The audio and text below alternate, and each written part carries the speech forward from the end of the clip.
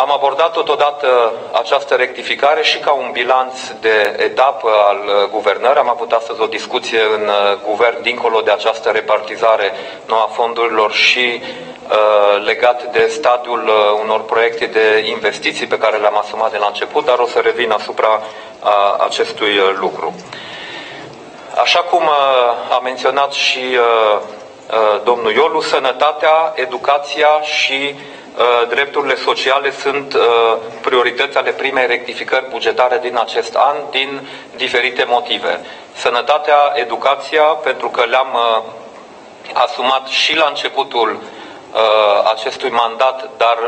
aceste priorități au fost întărite pe parcurs, date fiind situațiile pe care a trebuit să le rezolvăm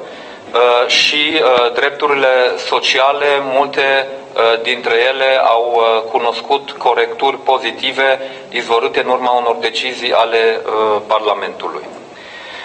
În același timp,